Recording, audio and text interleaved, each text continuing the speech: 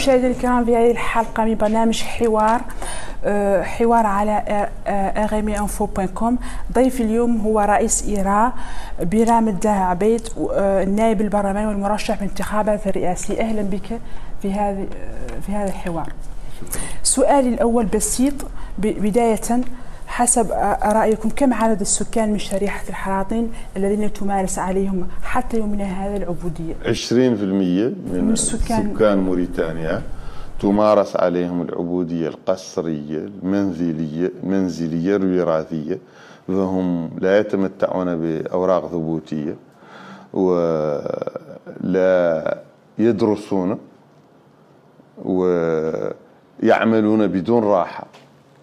وبدون تعويض ويتعرضون النساء منهم تتعرضن للاغتصاب وكثير من الممارسات آه، الخطيرة المحرمة في القانون الوطني والدولي. وهذه آه، هذا الرقم آه، جاي من تحريات معدلتهم إيراء بصفة مهنية في أكثرية الولايات الموريتانية. وحد اللي يكذبهم كيف الحكومة. والله حد مع الحكومة والله حد اللي من المرجفين الناس اللي يدافعوا عن العبودية اللي يكذبوا هذا الرقم اللي عندنا نحن. لابد له من يقبل يقنع الحكومة. اللي فاتت توافقت مع الأمم المتحدة ومع الاتحاد الأوروبي عنها ليتعدل بحث مستقل عن العبودية وعدد الناس المتضررين منها وكيفيتها موريتان وعقبة تراجعت عنه من جسة نبض المجتمع وجبرت عن البحث المستقل عنه ليظهر للعالم أرقام مخيفة جدا. وصادرت آه، المشروع اللي فات قررت الأمم المتحدة أن يعود آه، يشرف عليه الباحث الموريتاني. عبد الودود للشيخ. حسنا حسب رأي آه، إيرا 20% من سكان موريتانيا تمارس عليهم العبودية آه، في يومنا هذا 2019 حسنا سؤالي الثاني السيد الرئيس محمد عبد العزيز أكد منذ فترة طويلة كما تعلمون بأنه لا يرغب في مأمورية ثالثة هل يمكن القول حسب رأيكم بأن هذا القرار قرار ديمقراطي ونبيل؟ من أجل التناوب على السلطة في موريتانيا. ما قال هو ما قال عنه ما يرقب في مأمورية ثانية. هو حاول مأمورية بشتى الطرق وبالتالي حاول منين قال لأفراد أسرته وشمل قطط السماء السماء المقربين منه اللي حول لهم فضل الدولة كامل وخيرات الموريتان قال لهم عنهم يمشوا ويقيسوا البرلمانيين ويقولوا لهم عنهم يغيروا الدستور في البرلمان من دون عنه هو يعود ظاهر. ذيك المبادرة ذاك المشروع المدمر. وعقبوا وقفوا ضد الناس وتو كي كانت واقفة ضده كيف وقف ضده يكسع مجلس الشيوخ. ورفض تغيير للدستور. كيف وقف ضده الشعب الموريتاني. في الاستفتاء على الدستور اللي ما وقف حد إلى صناديق الاقتراع عاد هو يملاهم. وكيف هم اللي وقفوا ضد النواب البرلمان اللي من المعارضة واللي من الموالاة ذاك النهار لأن ما خلاوه وقف ضدهم اللي واحدين ما هم نواب واحدين في الجيش واحدين في مراكز أخرى من الدولة وتراجع هو على مضض بذلة وانهزم ولا قال عنه ما يدورها وشكر حتى الناس اللي كانت تدور تعدل له مأمورية ثالثة. ولا قال عنه ما يدورها ولا أن شاكرين عليها نحن الموريتان بين اللي آه، فقرنا. ودمر وحدتنا. وزرق الحراطين على البيضان وزرق البيضان على الحراطين وفرق الناس. ودار فينا الإرهاب. ودار فينا المذاهب الإرهابية اللي مستوردة واللي تدور القتال واللي تدور تقاتلنا بيناتنا واللي ما هي إسلامها مو صحيح كاع ولا أن شاكرين على شيء بعرة واحدة ما شاكرين عليه. جواب واضح. إذا حسب إيرا عزيز آه قرار عزيز. مكره. مكره عليه فردي حسب رأيكم. قرار اللي آه، تراجع عن الاستفتاء. ما جبر حد يعود معه تو؟ تراجع عنه باللي ما جبر حد يعود معه. السؤال الثالث آه، آه، على الانتخابات الرئاسيه المقبلة. هل تترشح لرئاسة لرئاسه الانتخابات الرئاسيه المقبلة؟ موريتان الحق يترشح لها حد اللي مرقها ذي الدوام. أصلا مترشح هي لما ترشحت أنا راك موريتان خلات وأنا هو اللي وقفت وجه هذا النظام. أنا وجماعه معايا من الساعة الجايه سكت الناس كامل ومزق الناس كامل. يا غير بقينا نحن الاراء وأنا على رأسهم بقينا في المواجهة معه. حسب. ودخلونا دخلنا الأحباس ودخلنا المحاكمات ومراقنا منهم منتصرين عليه ومهمتنا مع التوفات ما خلصنا رقاب الموريتانيين من نظام محمد بن عبد العزيز ونسوهم ونقطعوا هذه العشرية السنوات العجاف سنوات البؤس سنوات النهب سنوات التفرقة سنوات التطرف سنوات الشحناء. هذا لا بد من مرقوا منها الموريتانيا مرقوا منها لا بصناديق الاختراع.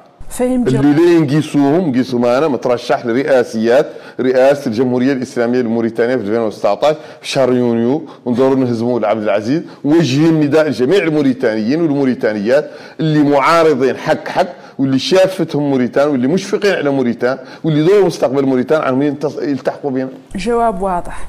لو فرضنا أن بيرام الده عبيد رئيس الجمهورية الموريتانية ما هي أول آه، سياسة اقتصادية واجتماعية ستطبقونها في البلد بشكل عاجل؟ بشكل عاجل. منين نقبض رئاسة الجمهورية الإسلامية الموريتانية؟ ماني لهن عدل شي بعد قاع. ما جلسوا ما عيط الموريتانيين كامل. بغض النظر عن أحزابهم وعن فئاتهم وعن وظائفهم وعن مراكزهم وعن لقاتهم وعن أعراقهم واجتمعوا كاملين عند وقف التأمل. وموريتانيا لها 60 سنة وهي من عند ويلة إلى ويلة. نجتمعوا وليه تخلق يخلق, يخلق مؤتمر وطني والتفاف وطني ونقاش وطني من خلاله لنمرقوا بالسياسات العريضة اللي نعدلوها اللي الأول منهم سياسة رد صعب. اللحمة الوطنية جبر أضرار اللي تضرت منهم الوحدة الوطنية. وذيك الورشة الوطنية اللي فيها جميع الوطنيين اللي فيها جميع الموريتانيين فيها جميع الأحزاب فيها جميع المنظمات المدنية. اللي نخرجوا منها إن شاء الله بذيك آه، الورشات وذيك البرامج الاقتصادية والاجتماعية والثقافية اللي هي والسياسية اللي نمروا بها موريتانيا حسنا دعنا الآن نتكلم آه، قليلا عن شخصيتك شخصية برامد آه، عبيد. البعض يرى في آه، يرى في نضالك من أجل حقوق الإنسان ومكافحة العبودية هدف نبيل لا شك. لكن البعض الآخر يتهمك بالدفاع عنه بطريقة غير أخلاقية. أحيانا تلفظ آه، كلمات وألفاظ غير غير لائقة بالسياسي. ألا يجب على السياسي المثقف بأن يكون مثالي لجمهوره؟ ما ردك على ذلك؟ أولا وقبل كل شيء هم ذوك ما هم هم اللي هم ذوك اللي تقولي عنهم. يلفظوا ضد شيء ويقولوا عني كذا لا خرسي كان النبي صلى الله عليه وسلم. قد يمشي بكلام أبو لهب والله أبو جهل. قد يمشي به اللي ما هم على جهة؟ أنا هم اللي ذيك الناس تقول ذاك ما على جهة. نحن أنا وهم لا الرأي العام الوطني والدولي. والرأي العام الدولي قبل موقفه معي أنا. بيلي أنا هو أكثر تكريم شخصية في منطقة قاع إفريقيا كامل والعالم العربي. ذاك اللي فيها إحنا الغرب إفريقيا وشمال إفريقيا. وارتكري معنا عن ذوف المجتمع الدولي قبل موقفه. والمجتمع المجتمع الوطني أنا هو آه الناشط السياسي والحقوقي الوحيد اللي جندت ضد الدولة قضاءها المأمور وإعلامها المرجف وعلمائها الغير عاملين ومطبلينها مطبلين الكروش مطبلين آه، آه، الرشوة مطبلين آه، الزور من جميع الفئات. وجندوا ضدي منذ عشر سنين حنيني حنيني منذ عشر سنين. ومركت منهم مروق إبراهيم عليه السلام. من النمرود وقوموا وقطع عني داروني في الحق منعوني من حزب مشرع ومنعوني من منظمة محرمة. وعدلوا لي الدعاية وما زالوا يعدلوها درك من خلال ذا اللي يوحوا من من اللي عندكم أنتم الحق صحابة تطرحوا كيف ذا اللي ضار وقافلوا علي يوم اللي السجن. سابق سابق الانتخابات. القفله الرابعة السجن الرابع المحاكمة الرابعة. في شي قل من عشر سنين شي ما يلحق سبع سنين. وعدلوا الزرق وأنا في السجن ومشاوا هم بأموالهم الطائلة وجندوا جواسيسهم وجندوا منافقينهم وجندوا مرجفينهم ورشحوهم وطاهم الوتات وطاهم الفضة وفتحوا لهم التلفزات وفتحوا الرجوات ونجحت أنا من السجن نجحني الشعب. وحمل لنا البرلمان وهم الآخرين قالوا الشعب حسن. أنا عني حسن. لكن بعض يتهموك بالتحريض على الحرب بين بين جميع شرائح المجتمع. ما ردك على ذلك؟ جزاك الله خير. تطرحي إلى اللي يوردوا على السنتهم هم. هي الحرب. الحرب هو الحرب يعدلها لا حد بعد قاع يؤمن بالعنف. أنا ما نؤمن بالعنف.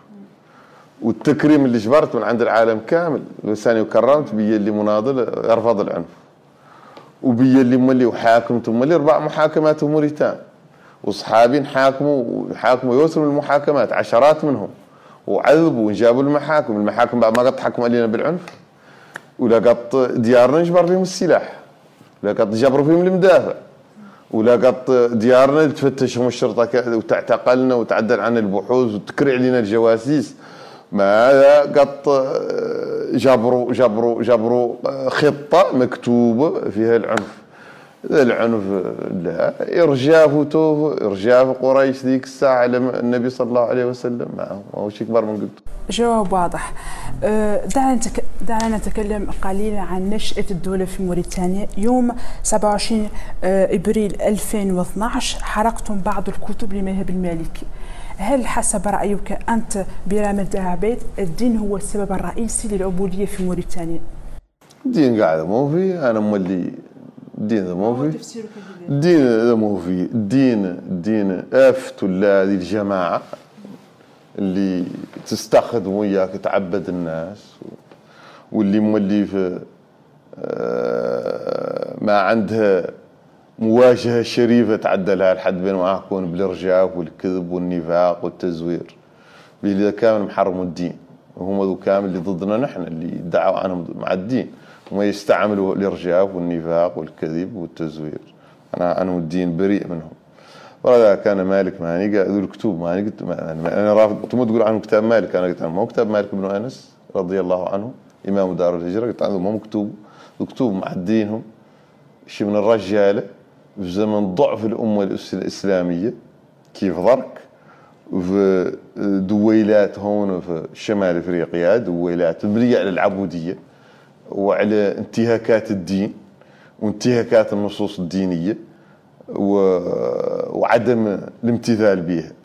وقطع عنها كتب تبيح أعراض المسلمين وتبيح بيع المسلمين وتبيح اغتصاب المسلمات وتبيح إخصاء المسلمين بحجة عنهم عبيد وأنا أنا أعتبرها كتب دينية ولا كتب إسلامية كتب شيطنة وكتب شياطين وكتب نخاسة وقلتها مرات وزدت نقولها ونكررها.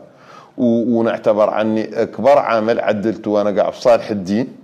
واللي يشفع لي به مولانا في قبري يوم ما ينفع روح روح لا حريقي كتب النخاسة.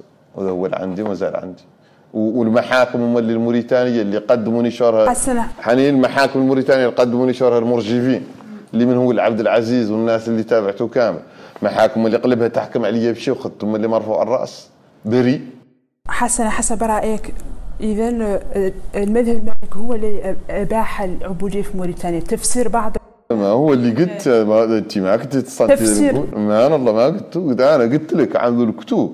ما قارج مشي على المذهب المالي عن مالك ما قارج عليهم شي مالك بن لكن بعض العلماء قالوا علماء كذبوا. العلماء إذا قالوا عن ذا يقولوا مالك والله عنده مالك قلت أنا عنهم كذبوا. ولو حشاهم. قلت عن المكتوب ما قال مشي على مالك.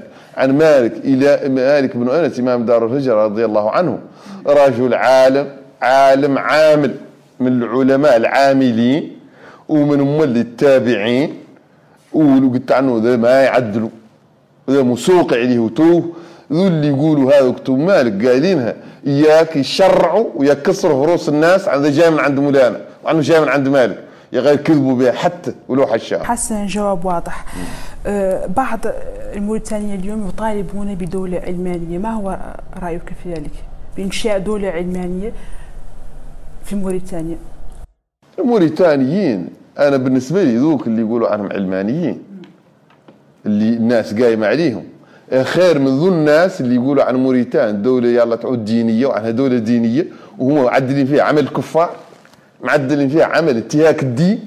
كيف ذا النظام ذاك نظام ولد عبد العزيز إذا اللي عدل ما قارش على ما قارش على الدين؟ النفاق والكذب والتزوير والظلم وسرقة أموال الشعب وسرقة أموال الخاص وتعباد الناس والزنا بالخدم. على بالمسلمات على حجت عنهم أخدم. وعدم نصرة الضعيف وموالاة الأقوياء هذا هذا هو نظام قريش اللي كانت ذيك الساعة زمن الكفر. حسن العلمانية ما رأيك في العلمانية إذا في موريتانيا؟ هل أنت مع أو ضد إنشاء دولة علمانية في موريتانيا؟ موريتان. قلت لك عن ذا الواقع الهوارك خير منها دولة فرنسا اللي دولة كافرة من قد العدالة بي اللي أنا. سمعت ولد ددو.